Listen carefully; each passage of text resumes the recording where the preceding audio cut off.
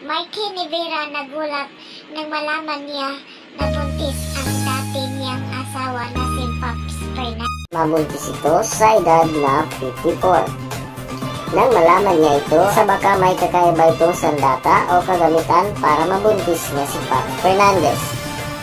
Hindi lang si Martin Rivera ang nagulat, kundi ang mismong mga kaibigan at katrabaho na kapwa-artista, kasama na nga dyan ang mga solidong fans at netizen. Ang nila pa ay nakagulat nga ng balitang ito, kaya naisip nila na isa sa mga siguro ito sa dahilan ng hiwalayang Derek Ramsey at Andrea Torres. Marami man ang nakahaka sa kung ano ang dahilan o sino ang dahilan ay hindi maiwasan na babagsak ito kay Pops Fernandez.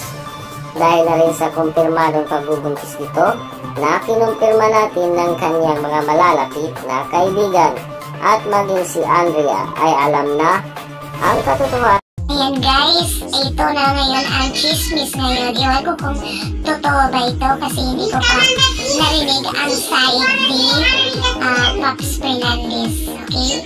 At dapat pwede pa palang magbuntis ang 54 years old guys. Okay? Ayun, totoo ba kaya na si Derek Ramsey ang nakabuntis kay Pops Fernandez? Okay, hanggang dito lang guys. And thank you for watching.